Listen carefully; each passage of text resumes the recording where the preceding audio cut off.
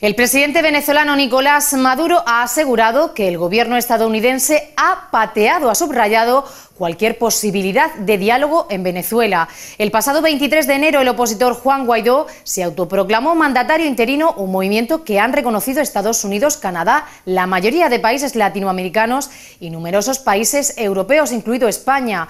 México, Uruguay y la Unión Europea, por su parte, han apostado por reactivar la comunicación entre las partes. Sin embargo, Maduro ha asegurado que tiene muchos amigos en el mundo. El mandatario también ha reiterado que Venezuela tiene un solo presidente constitucional electo con el voto popular y se ha referido a Guaidó como un humilde obrero con un gobierno títere. En cuanto a la Unión Europea, el mandatario venezolano ha subrayado que se ha plegado de manera acrítica a una política equivocada de Donald Trump. Sencillamente les ha torcido el brazo y los ha obligado a una política que ha dañado a Venezuela, ha aseverado.